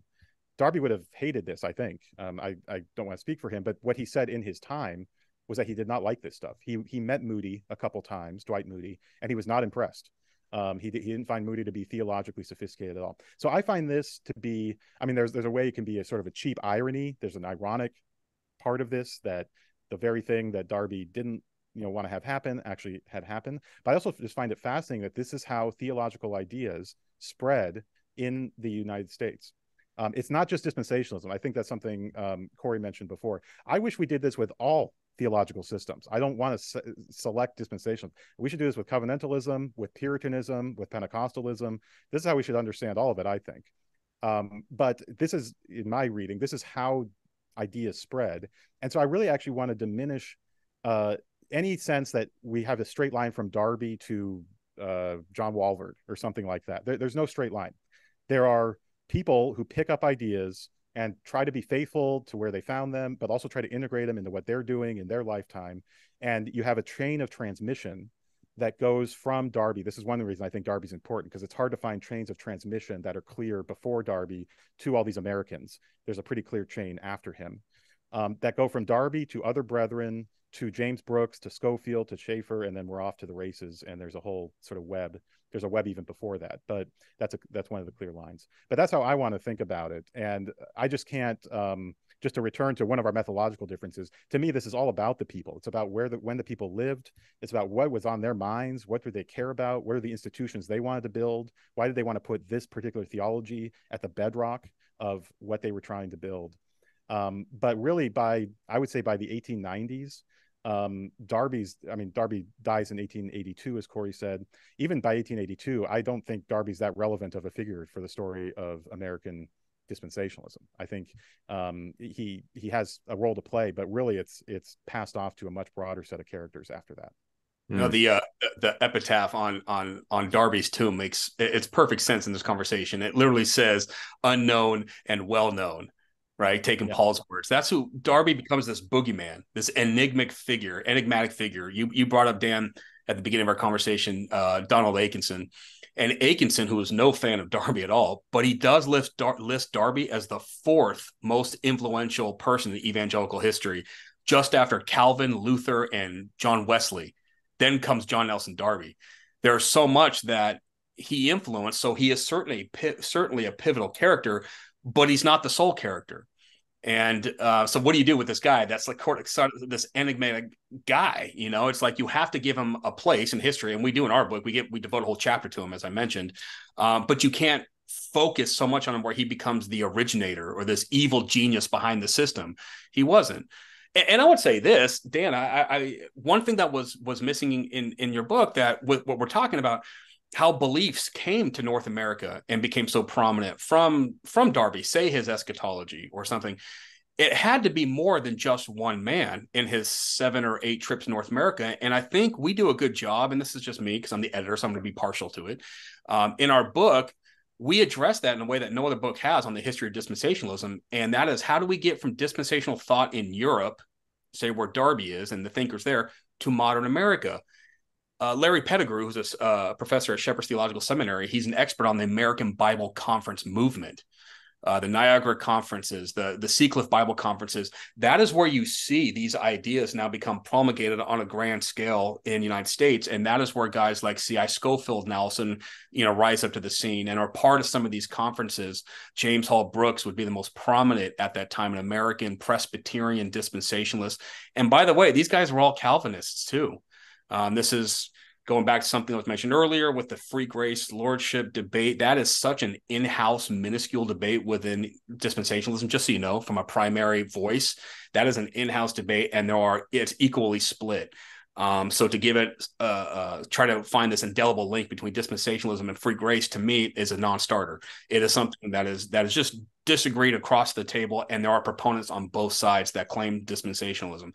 But that's an in-house thing um, but those beliefs th- through American Bible Conference, specifically prophecy, I think that's where more so than Darby, where those beliefs, uh, specifically eschatology, uh, uh, an inerrant belief in Scripture, you see rise up from this movement, uh, a high doctrine of uh, Scripture, a high view of Scripture. We can we can attribute the American Bible Conference movement to this, who were, of course, almost virtually, not all, but ver- almost virtually premillennial and dispensational uh, influenced um, from these ideas in Europe with Darby, and then on a grander scale through the through the conference movement and the prophecy conference movement in America in the 1800s. Yeah, I agree with that. With the with the folks on the prophecy conference movement, I I actually brought it out to talk about Bible institutes, mission agencies, and Bible uh, conferences as being mm-hmm. the three sort of parts of a what I call a premillennial complex by the turn of the century of 1900 that are really the bedrock of evangelicalism in America. I mean, we talk about Dwight Moody as this figure. We call I, I'm not I'm borrowing this phrase, the Moody movement. I mean, so much of what went for evangelicalism in America, including things like invoking biblical inerrancy, um, are are are somehow linked to Moody. Sort of like the Billy Graham of his era. Billy Graham has a similar role to play a few generations later. But I think that's so important to understand. It's a very complex way that these ideas are received and then spread. Um, I do think this is, um, uh, and maybe we'll get to. I don't know. I don't know how we're going to get to everything, Josh, but maybe we'll get to this. Um, when Josh has about, plumbing problems at his house. He's trying to get to. That's what you're looking at right oh, now. Oh, my, my, house is going to be knee deep by the time I get home, but that's all right. Worth it. When I talk about the rise of dispensationalism, um, this is sort of what I mean. Uh, this is the part of the story where you just see dispensationalism and the ideas under dispensationalism permeating almost every corner. Not every corner. There's always uh, differences of opinion, and there's a strong covenantalist uh, tradition as well. But per- permeating vast parts of what we call evangelicalism in the early 20th century. So by the time we get to 1950, 1960, um, this is how I tell the story. It's it's an open question um, if dispensationalism will be the dominant tradition in evangelicalism. Um, I know that's been a I don't think all dispensationalists read it that way. That's how I read the rapid institution building, the investment in seminaries, the investment in Bible call, in actually turning Bible institutes into Bible colleges and all that other stuff. But I think it's really important to understand that most people who are dispensationalist, uh, or maybe they might, don't even know the term, but they are in a church that teaches that, or they just believe that. Um, probably never heard the name Darby unless it was a, a, sort of lobbed as a you know a sort of insult or something, mm-hmm. and probably don't know anything about the Brethren. I mean, that, even though that's a one of the gestation bodies for these ideas, the Brethren are a very small movement, uh, relatively speaking, to American Christianity. Um, even though many people out of that have have influence way beyond their reach, and so this is another way of saying i mean darby's a part of the story he is i i, I don't know if i agree with akenson exactly on that ranking but certainly darby's a top 10 um, protestant in the you know protestant uh, in protestant history in terms of influence um, but uh, but we also really need to be clear that um, that there's a lot of people in between then and now that um, that mediate that. And this is where I just take another insight from my training. Um, and this I don't think this book will be uh, referenced again, Josh. Maybe it will be uh, on your call uh, on your podcast. But um, Edward Said's book from the 1970s, Orientalism, um, was a book that critiqued the way Westerners viewed the Orient, and basically that most Westerners saw the Orient as timeless and particularly one of the things he talked about was Islam and how most Westerners, when they looked at Islam, looked at the teachings of Muhammad and assumed nothing had changed since that time in the 19th century or 20th century, and so could sort of really make some simplistic assumptions about Muslims. I take that same insight, and there's a there's a sociologist many years ago who talked about fundamentalists as the internally orientalized Americans, the ones who most people in the academy look at and assume they never change. They have a really sort of static view of um, they don't think they're anti-intellectual. They don't ever even understand that ideas change over time. And of course I, I, grew up in that world. I also just know that that's bad history. And i wanted to actually apply that generosity that's how i understood it to dispensationalism to say everyone between darby and uh, now is thinking about these things. They're not just sort of mindlessly receiving them from uh, from darby. Um, they are thinking through them and then passing them on. And there's inevitable sort of development um, and change and critique and everything else that every human who tries to think through these things does.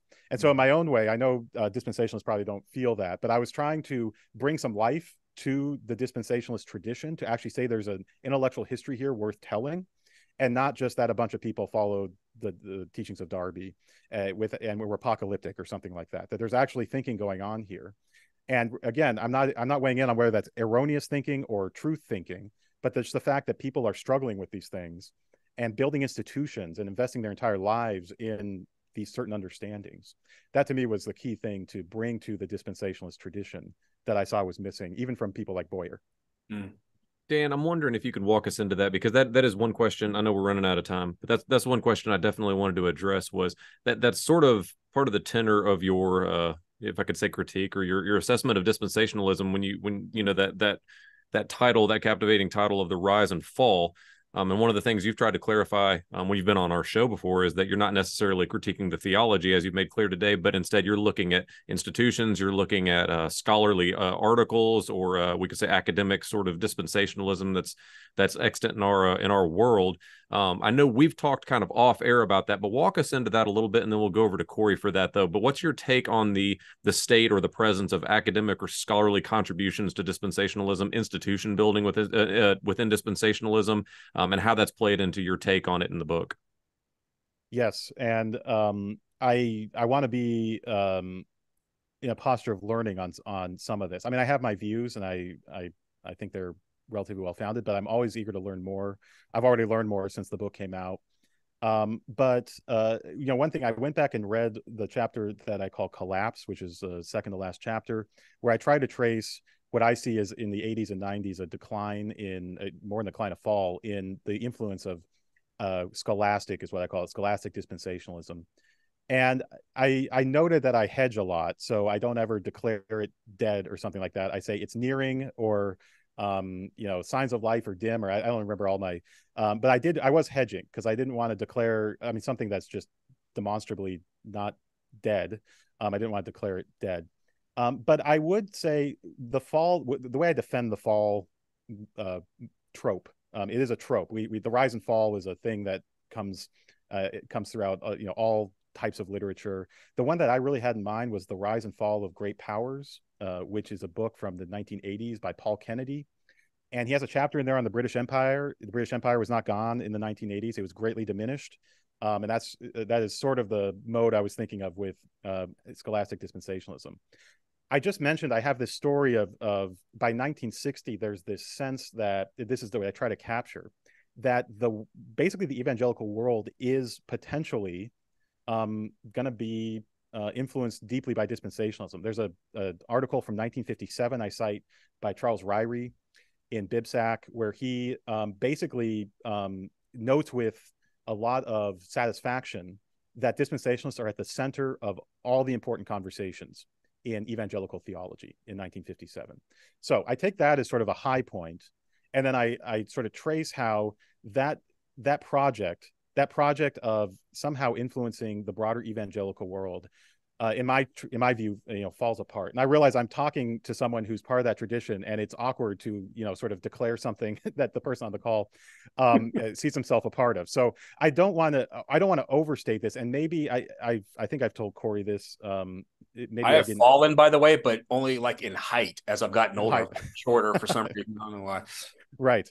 Um, uh, I wish I could have added one more paragraph on page 317 where I do acknowledge that that there are places, including Southern California Seminary, that continue to teach dispensationalism. I wish I could have added one more. Uh, I could have. I didn't. I wish I would have added one more paragraph um, that actually listed some of the names of the people who are doing, continue to do work in a either largely for me a a revised or classical dispensationalist mode. I see progressive dispensationalism, unlike or like some people, unlike some other people, as a pretty strong departure from the commitments of the broader tradition. But I wish I would have done that because um, it would have saved me a number of emails where I have to sort of clarify this. Um, but it also uh, would have acknowledged that I don't think um, I don't know what the future is. I'm not going to predict it too much. I do think if I if I do do a second edition 20 years from now, and there's a very vibrant scholar scholarly dispensationalist um, uh, community, I will be talking about a revival. Um, I don't think it's going to be oh there was actually no change over time from 1980 to 2050 or, or whatever. Um, because I think from that height in 1957, with Ryrie basically saying everything that is important in theology um, sort of has to dispensations are in the mix. I think the converse, I think the state of the field, the state of evangelical thought is way way different uh, now. Um, I think um, there's and I go through a lot of these, but there's various movements that have come and gone that have marginalized dispensationalist um, categories or thinking within the broader evangelical church and um, and there's there's also a just diminished we I, I trace a few just briefly institutions that sort of reject uh, dispensationalism or move on from it from something else. I go to an evangelical free church here in Madison. The evangelical free church denomination got rid of premillennialism from its doctrinal uh, statement of faith in in 2019 to a very large majority. Um, I think it was about 75 25, the vote was. Uh, just another sign that uh, something that was at the core of the founding of the Free Church in 1950 as a denomination had become what they considered a very secondary issue by 2019. So I trace that, and really the fall is relative to the rise or relative to the aspirations, what I see, of particularly the mid 20th century ambitions of the people at Dallas Seminary and Grace Theological Seminary and Talbot seminary and um, and I'm trying to give sort of an explanation for why that's not the state of affairs anymore. And the last thing I'll say is one of the audiences I had for this book, as I've mentioned, are historians and particularly American religious historians.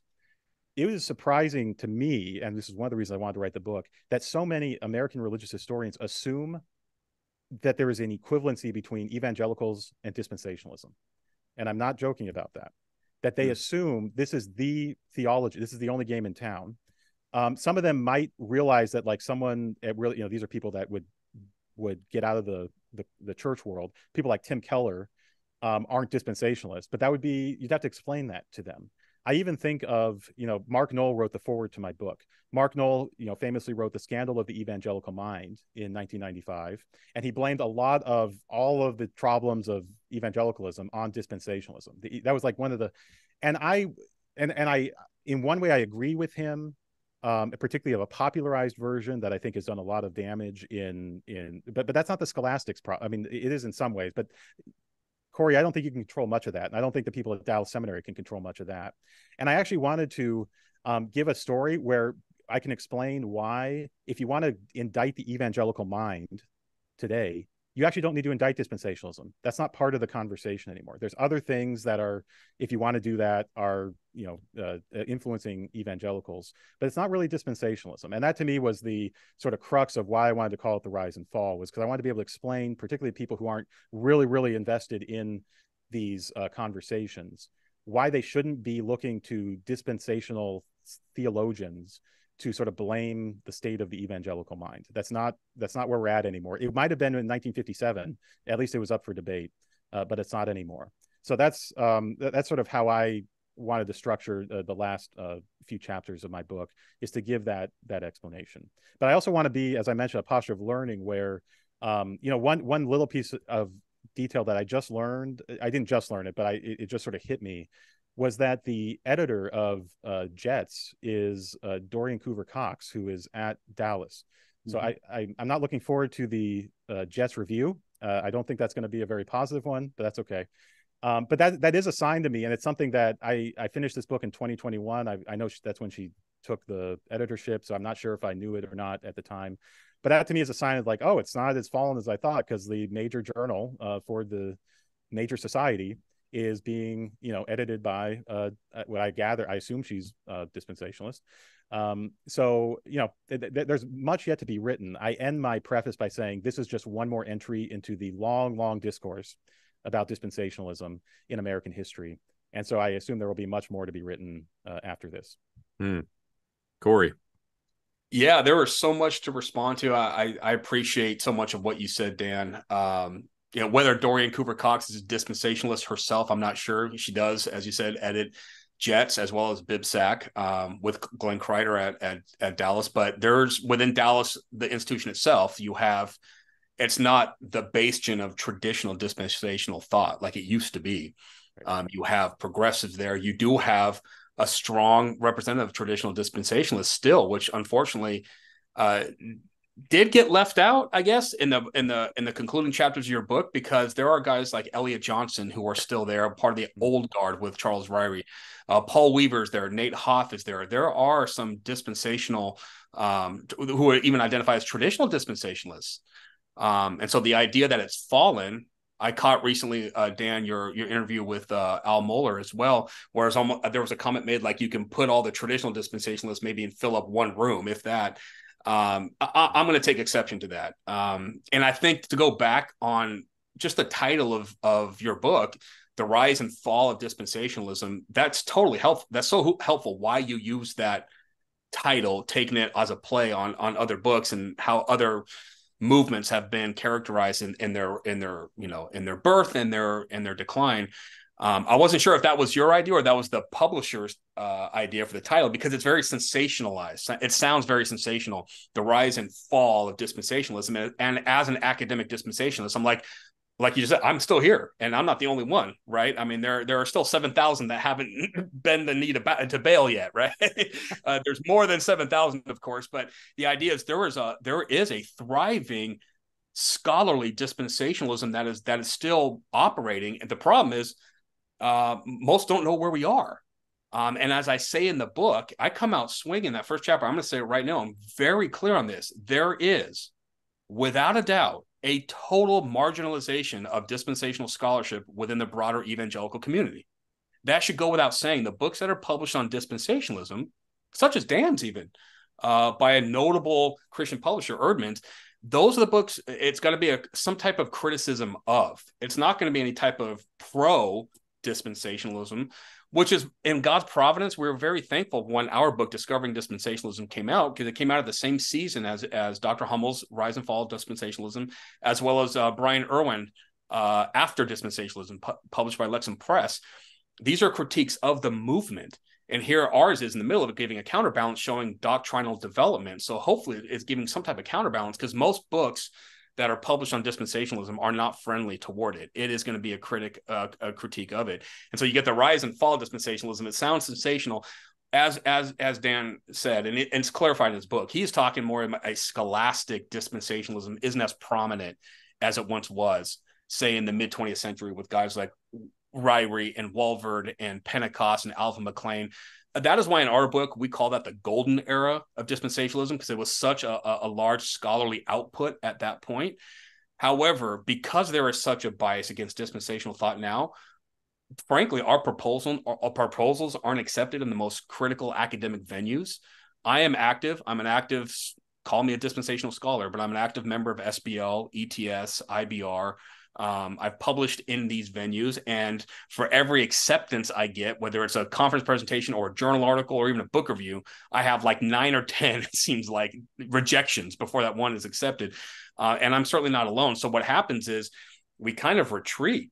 is academic dispensationalism still in the country? Yes. And this is where I'd say where, where the concluding chapters of Dan's book, he does tend to think, and this is just my interpretation, you do kind of bring out some of the fr- what I call fringe, like things like the rapture ready clock and and and these people that do not represent a, a, responsible dispensationalism certainly not an academic dispensationalism at all. They send they tend to keep they, they they they seem to get the focus toward the end as if that's where dispensationalism is going. When i look at me and my colleagues what we do whether we're at southern california seminary which i appreciated the mention in the book by the way um, or other seminaries Detroit Baptist Seminary, Baptist Bible Seminary, Shepherd's Theological Seminary, Master Seminary, Dallas Theological Seminary still. Then you got a slew of Bible College, Appalachian Bible College, and and these other schools that are that are that are still Calvary University that are pumping out peer-reviewed journals from a dispensational perspective, whether it's the Journal of Ministry Theology, the Journal of Dispensational Theology at Tyndale, Master Seminary Journal, um, General Biblical Authority. I mean, these are these are peer-reviewed journals that aren't as prestigious as the big journals that we know of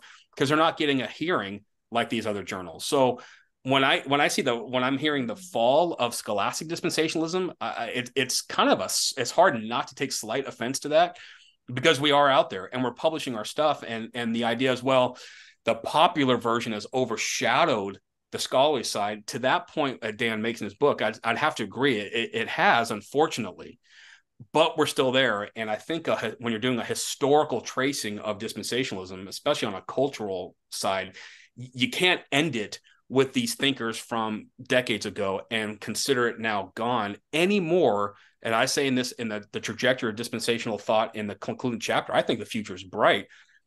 Consider Lutheranism continues on without Martin Luther right? Calvinism continues on with John without John Calvin. Wesleyanism, Methodism continues without John Wesley. Dispensationalism is no more dependent on those 20th century thinkers, whether it be Walvoord or Ryrie or Pentecost or McClain or going back to John Nelson Darby, uh, any more than than than than Anglicanism is dependent on King Henry VIII. Right, these these movements, these traditions are still there. They're still revol- They're still uh, um, um, thriving and they are, you know, revising pre- positions perhaps, but they're still there. And I hope that in our book that comes across, at least in those final three chapters, we're showing with dispensational thought in modern America, it developed. It developed into different types of movements, and it's still there. Whether we're talking about traditional dispensationalism, as some would call revised or classical, um, or progressive dispensationalism, which is which makes the most inroads today within academic scholarship, um, or even mid-acts dispensationalism. It's it's there's there's all these you know fibers different threads in the rope of how it's developed and it continues to revise and reform according to how it understands these positions in scripture still applying a consistent hermeneutic as best we can. So i would say no uh, scholastic academic dispensationalism has not fallen. It has fallen on hard times with those who are in positions to be able to publish academic dispensationalism because they simply will not do it. It's very rare for them to do it um, and I can say that from personal experience, and I'm certainly not alone in that. How many of our proposals get rejected in these venues? But scholastic dispensationalism, we're still there. Perhaps not as prominent in the 20th century. I've given a reason why, but we certainly are still doing our our scholarship, and that should be recognized. I think in a book that's tracing the history and showing the trajectory of where we're going, um, which I think we include in our book, but unfortunately was missing in other books. Gotcha. Okay. That's can I Sorry. respond to that really quick? We're going to jump in, Dan. Yeah, let me let me go to you because he brought up uh, mid-acts dispensationalism. I doubt we have time to get to that, but go ahead, Dan. Yeah, well, just wanted to respond, and I, um, uh, so my my sort of uh, cold-hearted historian comes out and says, Cory, the experience you're having, where it's it's hard to get recognized uh, outside of certain circles, it's hard to get anything published. The really cold historian to me says that's what a fallen tradition looks like. Um, it, it, that fall not not dead, but that's what it looks like to be on the margins of academic discourse. And I feel that as an evangelical in a uh, uh, well, luckily in my subfield there's a lot of Christians, but I feel as a Christian in a broader academic uh, world that um, uh, that doesn't really respect uh, Christian scholarship. I feel the same thing in a lot of ways, and I I have no compunction saying um, I, I, I, don't know if there ever was a rise of Christian scholarship in the modern secular academy, but we're certainly not anywhere close to uh, where we want to be. So that's my that's just one one observation. As I was reading your introduction, in particular, where this is how you start the book, is talking about the difficulty of getting um, a, a, fair hearing, I guess is how you would call it. Um, in um, yeah, not not weighing in on the morality of that. It's like, yeah, that's what happens when when a, a tradition's not at the center. Is you don't get a fair hearing, you don't get access to the the biggest publishers and things like that. Um, the other thing I would just say is. Um, I do end with a lot of pop dispensationalism. And I wanted to create that category in part not to conflate it with scholastic dispensationalism. And I think, I mean, this is a, I've, I've heard you say it here, I've heard others observe it, which is this frustration. If you are a, a thinking, um, even scholarly dispensationalist, the question is sort of why are we always defined by the Left Behind novels, or why are we always defined by this these crazy things that um, are on, eh, you know, movies and stuff like that? I've tried to give an explanation for that. Like that, that's that's part of the book is trying to say like this is what happens or this is what happened. I, there's not a law to it. This is what happened to dispensationalism, um, at least a, a, version of it, which it was popularized, it was simplified, it was reduced down to basically the end time stuff, uh, not much more. And that this, for the reasons I trace, which have to do with consumerism and politics and everything else, um, this is one of the fates of dispensationalism. So the, there was a play on the fall part, which is uh, this is the one part of the book where I'm, uh, well, others will say there's all parts where I'm editorializing, but this is where I wanted to editorialize, um, which say I don't think this is a good development. I did not, I do not appreciate a lot of the pop dispensationalism, as I call it, including the ways that people who aren't even Christian invoke the rapture for their video games and movies and everything else. Um, I, I, don't think that's really helpful either. But it, unfortunately, it is the world we live in where that is I can't tell you how many people at a place like UW Madison, they don't know a thing. They've never heard the term dispensationalism. They do know what the rapture is um, in some vague way because they, of a certain age, they read the Left Behind novels or something else. That was the question I really wanted to try to answer is how do you get to a place like that? And I don't want to blame it on John Walvoord. I mean, he has a little uh, role to play, but it's actually all these other people that were popularizers um, that I think have a lot to say in the story. So I end with them because I do think for um, people outside of the the halls of academia, um, that's what they think about when they think about dispensationalism.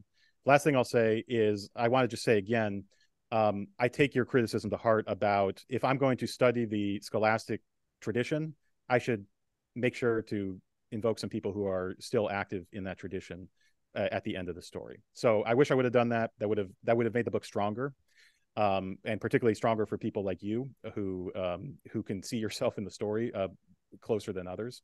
Um, so yeah, that's on me, and and I hope in in that um, future second edition that still is not actually real, but maybe someday that I can add at least in that paragraph that that acknowledges um, some of the journals. I took even notes here. Some of the journals and some of the actual uh, people uh, who continue to um, write within that tradition.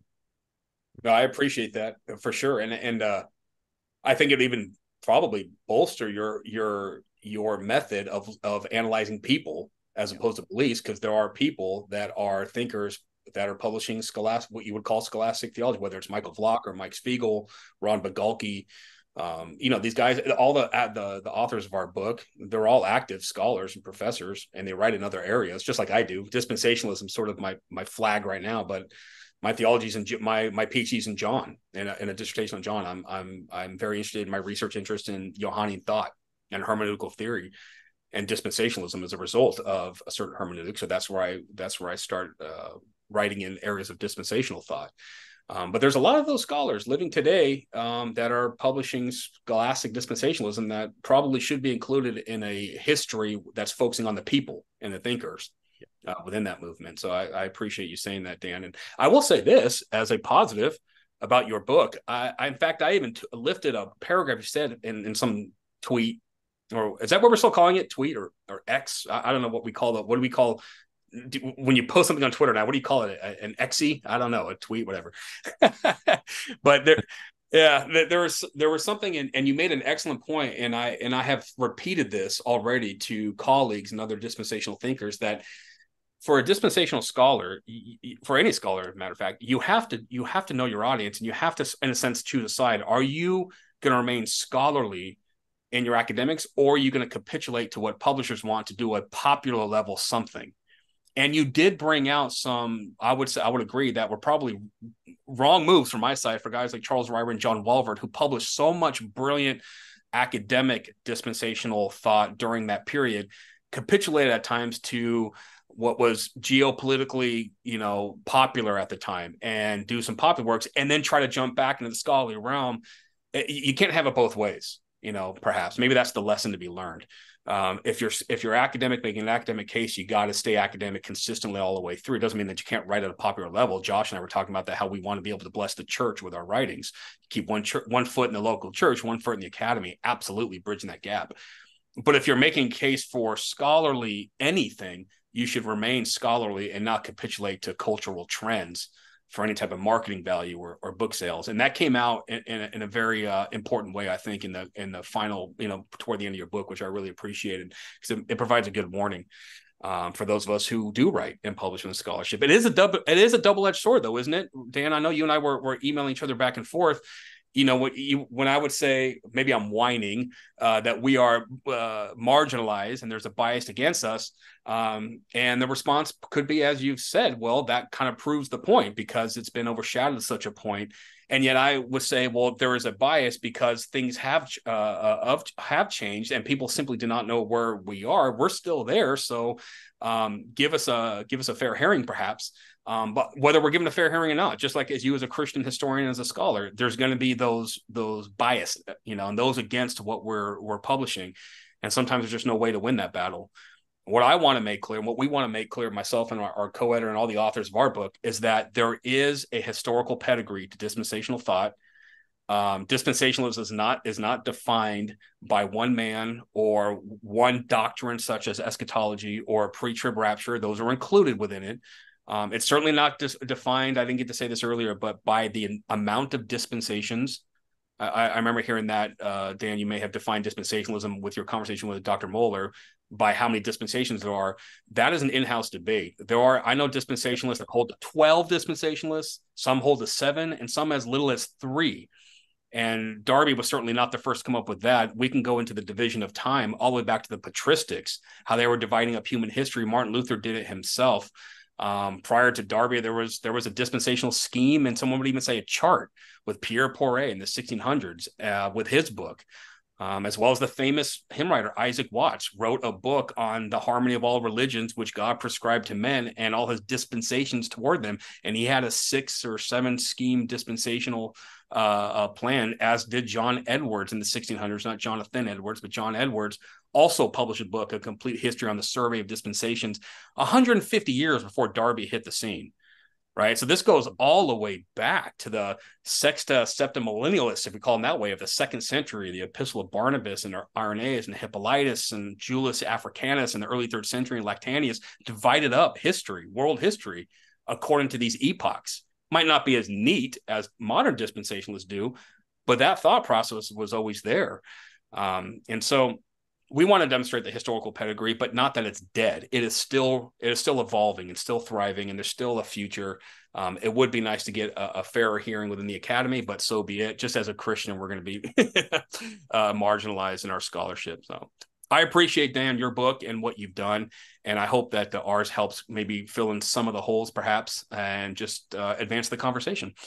Yeah, guys, I want to thank you both because we do have to wrap up. There's so many topics that we could cover here, and I know you guys have a lot of a lot of uh, knowledge to bring to bear on those topics. But I want to thank you both. We're going to have uh, links in the show notes for sure to both of your books, um, and I just want to thank you both for uh, an edifying conversation on my part, but also irenic and peaceable, and, and I appreciate you both. So, Cory, Dan, thank you guys so much for being on here today with me.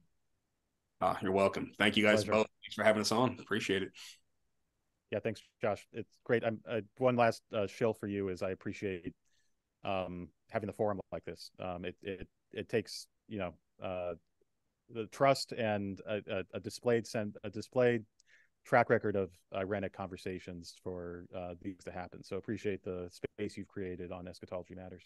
Thanks so much. Appreciate you guys both